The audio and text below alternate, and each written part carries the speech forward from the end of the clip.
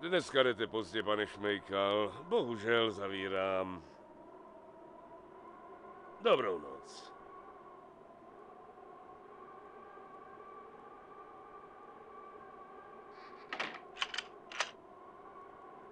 Marie, Jene, pomoz mi. Celý den mám takový pocit, že mě někdo sleduje. to je zvláštní, já taky. Víš co, raději půjdem. Dneska přespíš u. Dobře.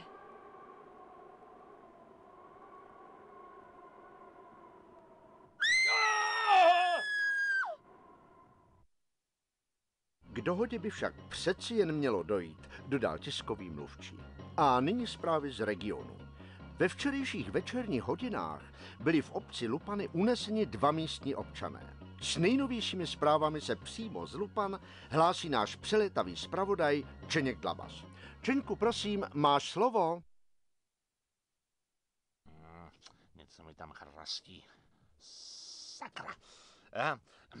Dobrý večer, vážení diváci. Jak už Sláva naznačil, hlásím se z Lupan, městečka nemastného neslaného. Není proto divu, že když zde za záhadných okolností zmizeli včera večer dva řádní občané, Jan K. a Marie P., rozvířilo to obecné dění celé obce. Jediným známým svědkem únosu je jakýsi důchodce Ash, jenž je ale ostražitě hlídán svou ženou. Ani policie nemá dosud žádnou valnou stopu. K případu byl přidělen jakýsi policista Pangrác. Neznám ho ani já, ani Sláva a vy, vážení diváci, už tu plemne. Fotografie tohoto policisty by měla být zveřejněna v průběhu reportáže, abyste si, vážení diváci, mohli sami udělat obrázek, jak to asi může celé dopadnout. Zlupan pro televizi Vado, Čeněk Dlabas.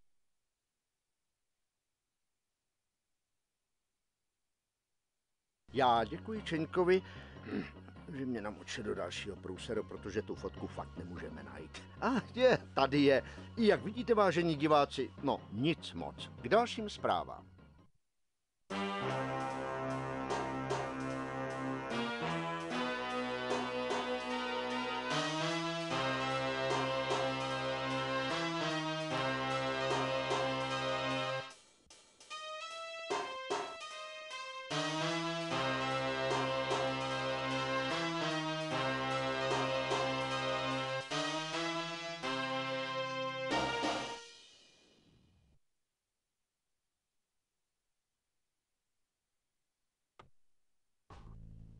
Teda, mně je zle.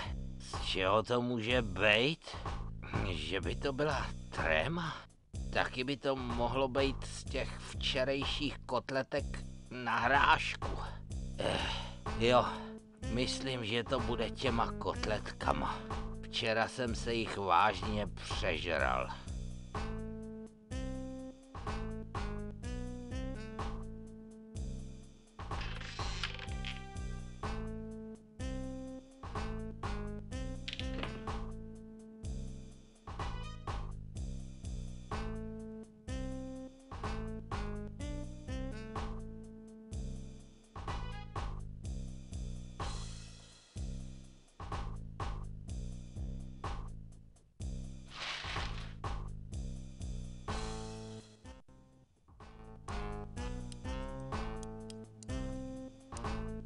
Poslední době není s babičkou vůbec žádná řeč.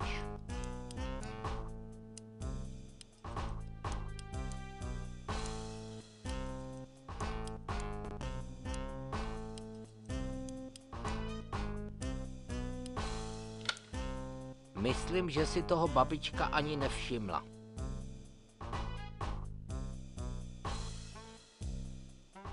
V poslední době není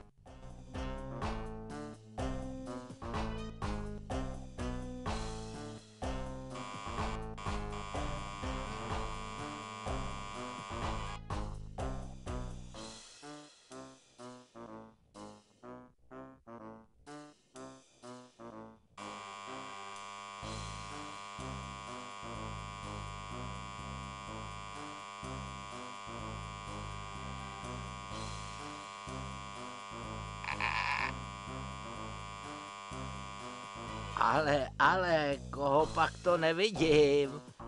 No tak, vylezte ven, sousedé.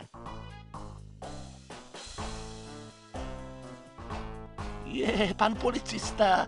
No to je překvapení, takže snad dobrý den. Dobrý, sousedé. A radši zas naschle. Přece vy hned zase neutečete. Nechtěl jste se mi s něčím svěřit. Co? Já si vlastně ani nechtěl povídat, chtěl jsem jen vyndat eh, tu sirku ze zvonku a to už jsem zvládl. Takže naschle.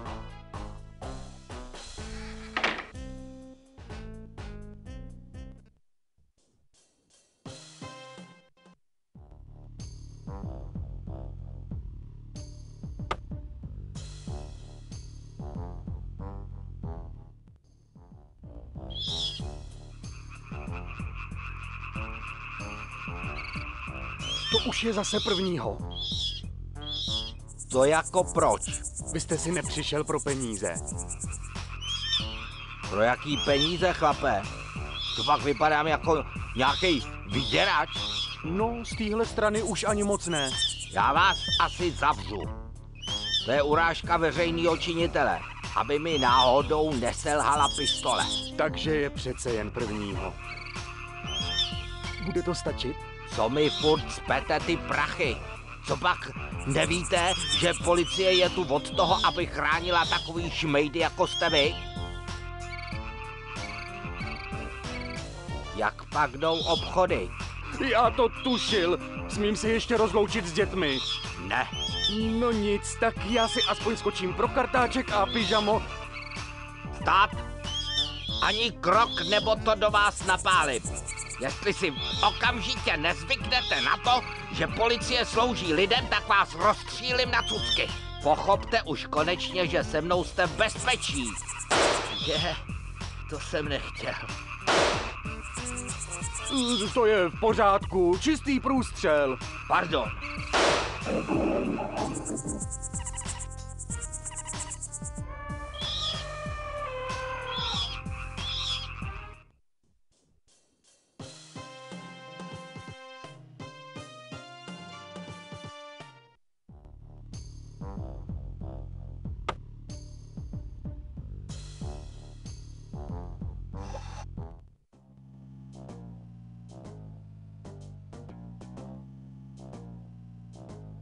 Prosím, Dobrý den, máte... nemáme. Sakra, to je obsluha. Jak víte, co potřebuju? Hádám, buď to máme, nebo nemáme. Je to 50 na 50, že uhodnu. Tak jinak, co máte? Nic moc, brzo to tu budem likvidovat. No tak eh, zkuste aspoň něco vymenovat, třeba si vyberu. Uh, takže je tu sada prošlých mídel, nějaké zcvrklé ovoce, hm, krabice arménských žvejkaček, rejže osmá jakost, série nepálských ořezávátek, krabice pracího prášku a spousta dalších zbytečností. No, vidíte. A pak, že nic nemáte. Říkala jste něco o rejži? Říkala. Já jen jestli jsem se nepřeslech. Bylo mi potěšením vás obtěžovat.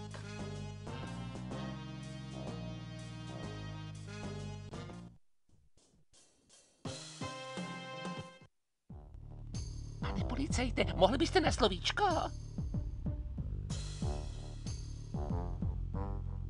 Co pak máte na srdci, matko? A to je flek od oběda. Tak teda, co máte na jazyku? Už nic. Tak ven s tím. Ježíš Maria, to si mám strčit prst do krku. Vy mi asi nerozumíte. No mluvíte docela zrozumitelně. Tak eh, co vás zajímá? Mě zajímá všechno. Takže tady fízujete. To je snad vaše práce. Fuj, co si to o mně myslíte? Opravdu to chcete vědět? Radši ne. Tak dobře, já vám to povím. Něco jsem snad řekl. Ale nesmíte se na mě zlobit. Košujte. No vidíte, vy se zlobíte už teď. A co teprve, až vám řeknu, co si o vás myslím. Pane, nejdřív mi slíbte, že se nebudete zlobit. Ženská jedna bláznivá. Neštvete mě. To bylo od vás velmi hrubé. Víte, co si o vás myslím? Ticho! Vy nejste normální. Málem jste mě trefil. Víte, co si o vás... Řekl jsem ticho! Lidičko, on zešílel! Chce mě zabít!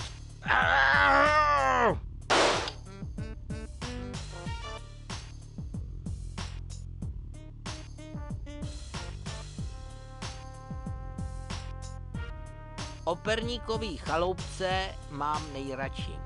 Jak jen to vlastně bylo. V hlubokém lese žil jeden drvoštěp a s ním tam žili jeho dvě děti, Jeníček a Mařenka. Jednou vzal drvoštěp své děti sebou do lesa.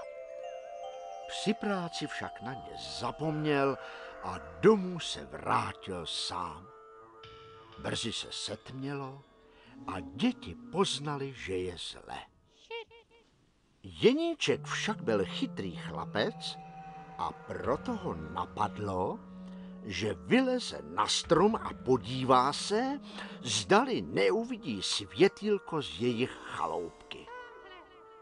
Avšak nebyla to jejich chaloupka, co se před nimi na pasece objevilo.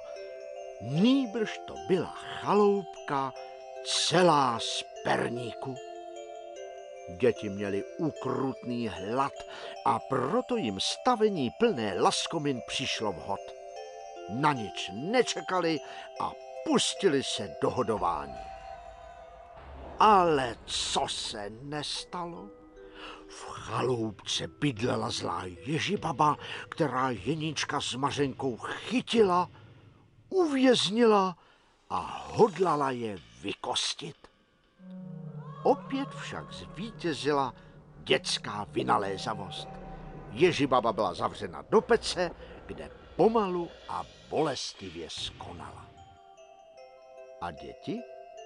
Děti druhý den vyrazili na policii, kde byl sepsán protokol.